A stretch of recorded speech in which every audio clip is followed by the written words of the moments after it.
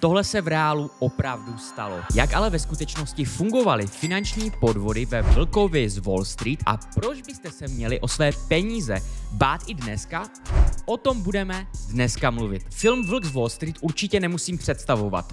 Pokud máte rádi finanční svět, business nebo Leonarda DiCapria, tak jste dost pravděpodobně tenhle film viděli více než jedenkrát. Kdybych si mohl nějakým způsobem vymazat paměť a mohl vidět znovu poprvé nějaké filmy, tak Vlk z Wall Street by rozhodně byl mezi nimi. Celý příběh Jordana Belforta, kterého hrál Leonardo DiCaprio, se doopravdy stal, ale nestal se úplně stejně tak, jak to bylo líčeno ve filmu. Celý film je totiž natočen podle knihy a kniha je podle slov Belforta napsána ne úplně přesně podle toho, jak se to doopravdy stalo. Jsou z ní totiž vynechány pasáže, které by Belforta poslali znovu do vězení. A jedním z nich je konkrétní vykreslení finančních podvodů a jak byly ve skutečnosti páchány. A které Belfortovi vynášely zhruba 1 milion dolarů týdně. Ahoj, moje jméno je Ondra a vy vítejte u dalšího investičního videa. Nezačneme, rád bych poděkoval všem lidem na Patreonu, protože jen díky vám pak můžu dělat videa o finančních podvodech. Když se podíváme 20 až 30 let zpátky, tak nakupování akcí nebylo jako dnes. Dneska se přihlásíte ke svému brokerovi, ke své aplikaci a během 30 sekund máte nakoupeny nebo prodány třeba akcie Apple. Když jste tehdy chtěli nakoupit nebo prodat akcie, tak jste museli volat svému brokerovi, což byli vlastně obchodníci, kteří pracovali u brokerských firem. Těmhle lidem jste pak říkali, jaké akce chcete nakoupit, za jakou cenu, kolik kusů a podobně. Obráceně to však fungovalo taky. Brokři, tedy obchodníci, volali svým klientům a nabízeli jim čerstvé akcie, které samozřejmě vyletí brzy na měsíc, zhodnotí se klidně o desítky, stovky procent a na kterých samozřejmě nemůžou nikdy prodělat. Ten důvod byl jasný. Brokři, tedy obchodníci, samozřejmě byli placeny poplatkově, tedy měli commissions neboli provizi z vašich, tedy z investorových, investovaných peněz.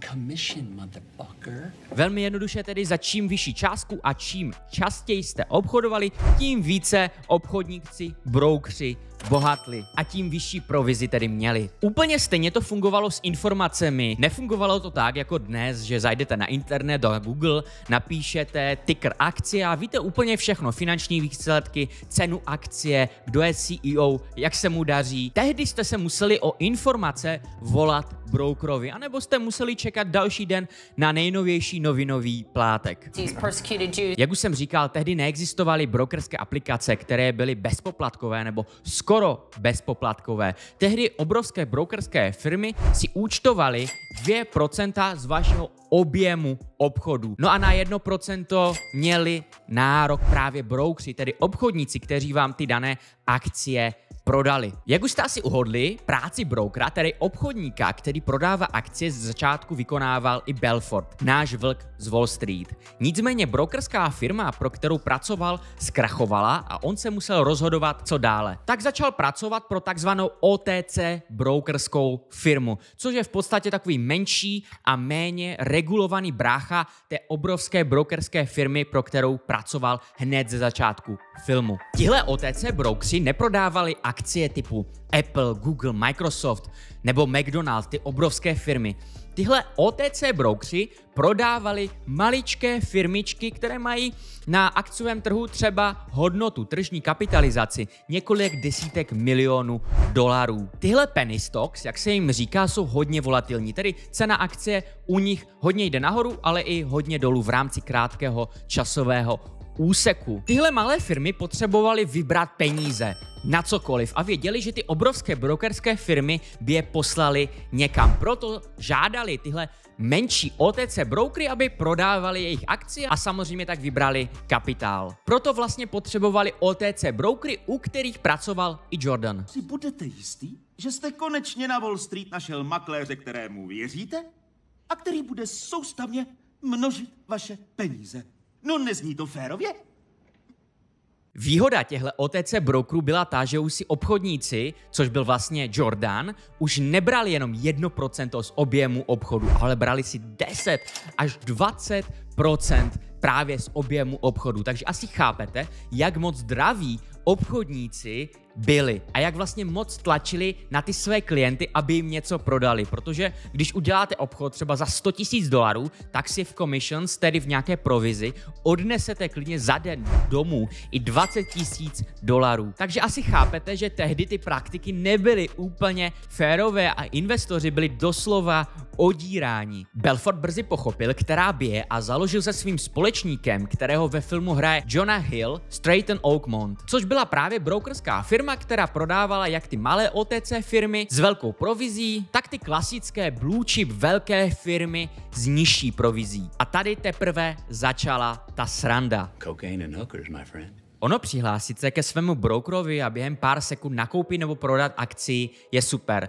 To, že teďka už je to skoro zadarmo nebo zadarmo, je taky super. Jak asi víte, broker Degiro omezil nákupy ETF a tak i moje pravidelné nákupy. To, že kvůli tomu nyní budu své portfolio u XTBčka, jsem mluvil. Ale o tom, že tam nyní můžete nakoupit konečně po dlouhém čekání i frakční akce, jsem nemluvil. Konečně si tak můžete nakoupit třeba polovinu akcie Apple, pokud na celou akcí třeba nemáte prostředky. XTB navíc opět jako každý rok pořádá analytické fórum. Vystoupí zde přední odborníci na makroekonomii, ale taky se budou probírat akce, komodity, kryptoměny a jiné. Pokud si chcete rozšířit obzor, co se kolem nás děje a hlavně co se teprve chystá, určitě se přijďte podívat, je to online, je to zdarma, odkaz jako vždy najdete v popisku videa. A my pojďme pokračovat v podvodech z Vlka z Wall Street, protože ta pravá sranda teprve začíná. Belfort tedy zakládá svoji vlastní firmu Straighten Oakmont. A podle několika zpráv ve svém píku, ve svém vrcholu,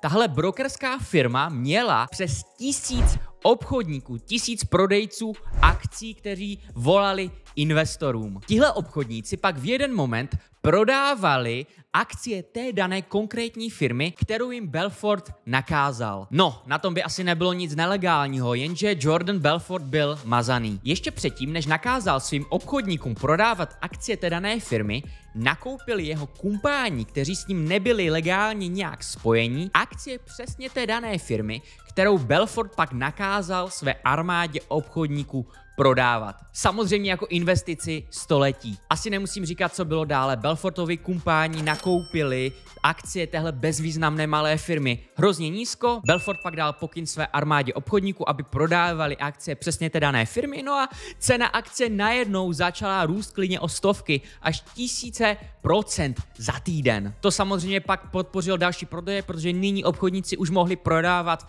firmy, akcie, vlastně které během týdne udělali třeba 100% a to se vám samozřejmě pak dobře prodává. No a to samozřejmě vyhnalo cenu ještě výše. Potom, co cena akcie prodávané firmy vyletla třeba i o tisíce procent nahoru, Belfort nakázal svým kumpánům, kteří akcie nakoupili, předtím za levno, aby akcie na vrcholku prodali. Belfort a jeho kumpáni tak vydělali samozřejmě během chvilky miliony, protože nakoupili vlastně nízko, prodali vysoko. Nicméně obyčejní investoři z ulice ostrouhali, protože v ten moment, kdy Belfortovi kumpáni prodali, začali Belfortovi obchodníci ty dané akcie prodávat, no a samozřejmě, když je přestali prodávat, tak cena akcie se vrátila tam, kde byla předtím, protože jinak tu firmu prostě nikdo neznal. Vlk z Wall Street tak vlastně vypumpoval cenu akcie na vrcholek, zde prodal a pak ji nechal zase spadnout tam, kde byla předtím. Čím více bezvýznamná firma to byla, tím lépe se vlastně s cenou akcie manipulovalo. Proto si Belfort ze začátku vybíral právě penny stocks, malé firmy. Jak už to tak ale u takových typků bývá, tak čím větší jsou, tím více chtějí a to se jim samozřejmě stane pak i osudným. Náš vlk z Wall Street totiž začal velkým firmám nabízet takzvané IPO, což znamená, že firmu, která už je poměrně velká, vezmete na burzu a tak se s ní stane firma ještě větší. Ale jedná se už teďka o veřejné burzy, jako jsou Amsterdamská, Londýnská, New Yorkská burza, na které i my nyní obchodujeme. Třeba nedávno měla IPO firma Porsche nebo Airbnb, s kterýma akciema už nyní můžeme obchodovat. Než se vlastně ale k tomu hlavnímu podvodu dostaneme, tak si pojďme říct, proč firma dělá IPO, proč jde vůbec na burzu. No, protože potřebuje peníze. Otázka na vás. Myslíte si, že když jde firma na burzu a potřebuje peníze, myslíte si, že ta cena akcí bude levná nebo drahá, nadceněná? No samozřejmě to druhé. To je taky důvod, proč vlastně většinou nebo skoro nikdy nekupuju firmy, které jdou aktuálně IPO, které jdou na burzu, protože samozřejmě tyhle firmy chtějí vybrat co nejvíce peněz od nic netušících akcionářů, investorů vlastně. Tím pádem nabízejí ty akcie draze a jsou nadhodnocené. Ve své největší slávě IPO pro firmy nabízel právě i Straighten Oakmont. Ptáte se, proč to dělal, jaká byla největší výhoda pro Belforta právě v IPO velkých firmách? No protože teďka už nehrajete na malém hřišti s nějakýma malýma OTC firmama, ale hrajete na velké veřejné burze s obrovskýma firmama a samozřejmě hrajete s velkýma penězma a to Belforta táhlo. Příběh byl podobný. Kumpáni Belforta nakoupil akcie, která šla IPO, Vlk z Wall Street poslal svoji armádu obchodníků prodávat akcie firmy, akcie firmy začaly růst, ale teďkom se do hry dostávají i klasičtí investoři, kteří na burzách jako New Yorkská obchodují. Belfort tak využil důvěry těchto investorů v to, že se přece jedná o velkou světovou burzu a klasickou legitimní IPO, důvěryhodnou firmu, která akorát jde na burzu. Tihle investoři teda jenom viděli, že IPO nějaké firmy, její akcie vyrostly za den klidně o 30% a tak začali zběsile nakupovat. Belfortovi obchodníci tak vlastně cenu téhle velké veřejné firmy jenom nakopli. O další růst už se postarali sami investoři, kteří investovali na veřejných burzách a kteří vůbec o Belfortově firmě nikdy neslyšeli. No až cena akcie téhle IPO firmy vyrostla dostatečně, Belfortovi kumpáni zase akcie prodali a přesně takhle vyděláte 22 million dollars in three fucking hours! Can you believe it? Možná si teď říkáte, ale Ondro, to bylo před 20, 30 lety. Já už bych na to dneska nenaletěl, to už se dneska nedělá. A já říkám, Máte pravdu, na klasických finančních trzích se dneska tohle už nemůže pravděpodobně stát. Je to hodně regulovaný systém. Nicméně podobné věci se dneska dělají s kryptem, protože to je mnohem méně regulovaný prostor. A i mě chodí týdně minimálně jedna nabídka na vypumpování nějaké neznámé kryptoměny a prodání vlastně téhle kryptoměny vám.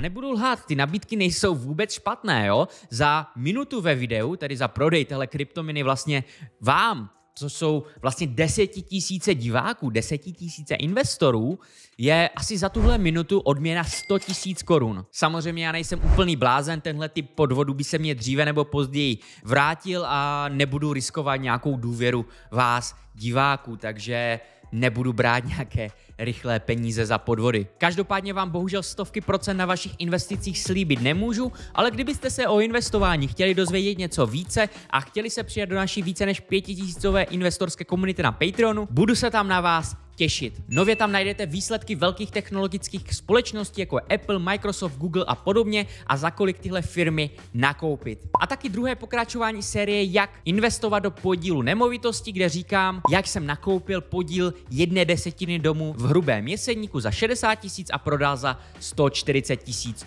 korun. Link máte v popisku videa. Jo a kdyby vás zajímalo, proč se pravděpodobně nedožijete pádu dolaru, tak koukněte na tohle video. Mějte se.